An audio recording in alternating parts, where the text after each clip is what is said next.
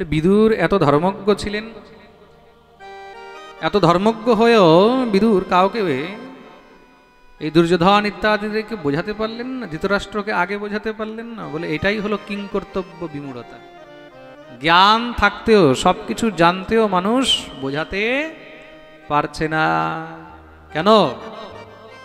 সে কিংকর্তব্য বিমূঢ় হয়ে রয়েছে, কি করবে, কি না করবে সবসময় সংশয়ের মধ্যে বিদুর থাকতেন। আমাকে কি করা উচিত, কি করা উচিত নয়। সংশয়াত্মক থাকতেন। সংশয়াত্মক কেন থাকতেন? তার পিছনে একটি পূর্বের কারণ রয়েছে।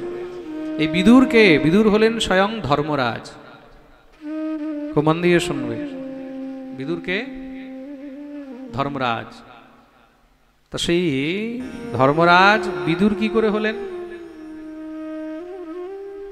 তার পিছনেও কিন্তু কথা রয়েছে মহাভারতের মধ্যে। মান্ডব্য ঋষির অভিশাপ লেগেছিল তাকে।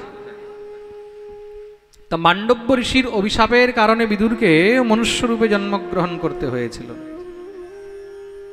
এই মান্ডব্য ঋষি কে ছিলেন?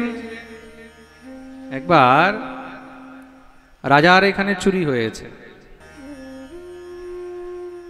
তা চোরগণকে যখন ধরতে রাজ কর্মচারীগণ পিছনে লেগেছে তারা কি করেছে? দৌড়াতে দৌড়াতে মান্ডব ঋষির আশ্রমের মধ্যে সেই চুরির বস্তুগুলোকে রেখে লুকিয়ে গেছে।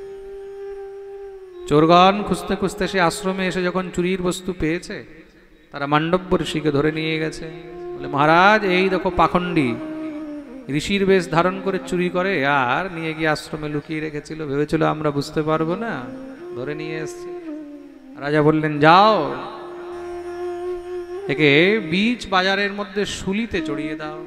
আগেকার দিনে এগুলো সাজা হতো, ফাঁসি, শুলি মানে শুল, শুলের উপরে উঠিয়ে দেখে দেওয়া হতো। বিচার করে দেখো, কাউকে শুলের উপরে বসিয়ে দেওয়া হয়েছে। আর সেই শুল আস্তে আস্তে আস্তে আস্তে আস্তে আস্তে তার শরীরের মধ্যে ঢুকছে। তার মানে কি কষ্টে তার মৃত্যু হতো? শুলির উপরে তাকে উঠিয়ে দাও। মান্ডব্য ঋষিকে শুলির উপরে উঠিয়ে দিয়েছেন। দেখতে দেখতে দিন পেরিয়ে গেল, রাত হয়ে গেল ঋষি পরম যোগী। তিনি শুলের উপরেও বসে ভগবানের ধ্যান করছেন। কিঞ্চিত সেই শুল দিয়ে তার কোনো কষ্ট হয়নি, শুলের উপরেও বসে আছেন। মহাভারতে এই বিষয়ে অনেক বিশাল কথা রয়েছে। সেইখান থেকে কৌশিক ব্রাহ্মণ যাচ্ছিল। কৌশিক ব্রাহ্মণ রাত্রি অন্ধকারে সেই জায়গা দিয়ে যখন বেরিয়ে যাচ্ছে তখন তার অন্ধকারে না দেখার কারণে শরীরে একটু শুলে ধাক্কা লেগেছে। দেখুন, সংযোগ কাকে বলে? মান্ডব্য ঋষিকে শুলে চড়ানো হয়েছে, কিন্তু তিনি নিজের যোগের বলে শুলকেও ফুল বানিয়ে দিয়েছেন, তার উপরে বসে রয়েছেন। কিন্তু ওই যে তার কষ্ট লেখা ছিল যে কিঞ্চিত হলে একটু কষ্ট পাবে, তার জন্য কৌশিক ব্রাহ্মণ কোথা থেকে আসছিলেন? রাত্রের অন্ধকারের শুলের সঙ্গে গিয়ে ধাক্কা খেয়েছে। ধাক্কা খেতেই মান্ডব্য ঋষিকে একটু খোঁচা লেগেছে। এতক্ষণ খোঁচা লাগেনি? এতক্ষণ কোনো কষ্ট হয়নি? ধাক্কা লাগতেই খোঁচা লেগেছে। কষ্ট হয়েছে পীড়া হয়েছে। সঙ্গে সঙ্গে সে অভিশাপ দিয়ে দিলেন কৌশিক ব্রাহ্মণকে। সূর্যোদয় হতেই তোর মৃত্যু হয়ে যাবে।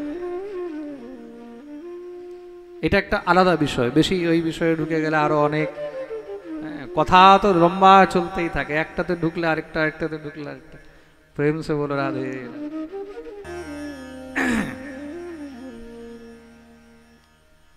যখন রাত হয়ে গেল, সকাল হয়ে গেছে, কোনো মতেও মান্ডব্য ঋষির মৃত্যু হলো না, শুল দিয়ে কিছু হয়নি, সব তো ভয় পেয়ে গেছে। ভয় পেয়ে রাজার কাছে দৌড়ে গেছে, মহারাজ, এ তো কোনো ও মহাযোগী, কোনো মহৎ ব্যক্তি। আমরা ভুল করে তাকে ধরে নিয়ে এসেছি, শুলের উপরেও তার কোনো কষ্ট হচ্ছে না, সে বসে রয়েছে। রাজা সঙ্গে সঙ্গে দৌড়ে এসেছেন, দৌড়ে এসে চরণে পড়ে গেলেন। তাড়াতাড়ি শুল থেকে নামানো হলো। মহারাজ, আমার ভুল হয়ে গেছে, আমার অপরাধ ক্ষমা করুন, আমি বুঝতে পারিনি। মান্ডব্য ঋষি বললেন, তোমার কোনো দোষ নেই। তুমি তো রাজা, তুমি নিজের কর্তব্য করেছ। রাজার কাজ হলো দুষ্টকে দণ্ড দেয়া, কিন্তু হিসাব করব আমি অন্য কারোর সঙ্গে। তোমার সঙ্গে আমার কোনো লেনা দেনা নেই। তুমি তো নিজের কাজ করেছ। কিন্তু যিনি এই দণ্ড বিধান করেছে সেই ধর্মরাজকে গিয়ে ধরবো আমি। ধর্মরাজকে, ধর্মরাজ তো দণ্ডের বিধান করেন। চলে গেলেন ধর্মরাজের কাছে। ধর্মরাজ মান্ডব ঋষিকে দেখে সঙ্গে সঙ্গে দৌড়ে এসেছেন, প্রণাম করলেন, আসন দিলেন। মান্ডব ঋষি বলল আমি বসবো না। মহারাজ, কি অপরাধ হয়েছে আমার? আমি তোমার কাছে শুধু একটি জিনিস জানতে এসেছি, কি? যতদূর আমার স্মৃতি শক্তি আছে, আমি জানি যেদিন থেকে আমার স্মৃতি হয়েছে, সেদিন থেকে আমি আজ পর্যন্ত এমন কোনো অপরাধ করিনি, এমন কোনো পাপ করিনি যে আমাকে শুলের উপরে উঠতে হয়। তুমি এমন কোন দণ্ড দিলে আমাকে? কোন কারণে এই দণ্ড আমাকে ভোগ করতে হলো? আমাকে উত্তর দাও। ধর্মরাজ বললেন, প্রভু, আপনার বয়স তখন প্রায় তিন বছর, চার বছর ছিল। আপনি খেলতে খেলতে একটি কাঁটা নিয়ে একটা পোকার গায়ের মধ্যে ফুটিয়ে দিয়েছিলেন। আপনি তার গায়ের মধ্যে সেই কাঁটা ফুটিয়ে দিয়েছিলেন বলে সেই দণ্ডের ফল আপনাকে ভোগ করতে হলো।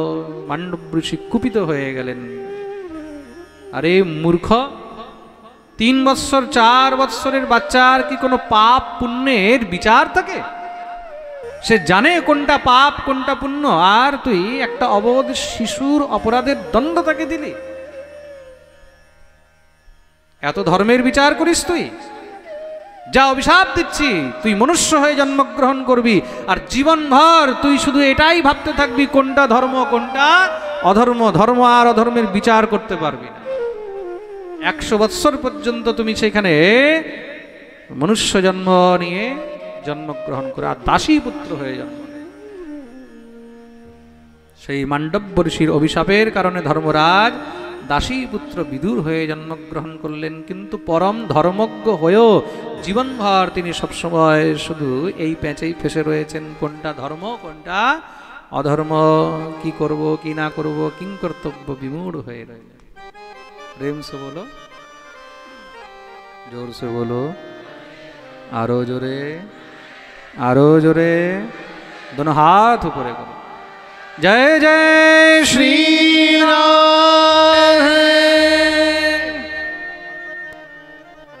সেদিন থেকে মান্ডব্য ঋষি নিজে আদেশ করলেন, মনে রাখবে, আজ থেকে পাঁচ বছরের নিচের যত বাচ্চা, তাদের কোনো পাপ কখনো বিধানে ধরা যাবে না।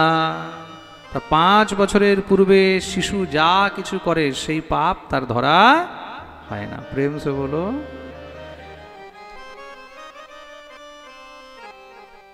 পাঁচ বছর বয়স পর্যন্ত শিশুকে তার জন্য পাপ, পুণ্য, ধর্ম, অধর্মের শিক্ষা দিয়ে দেওয়া উচিত। সেই হলেন বিদুর। বলিয়ে বিদুরজি মহারাজ কি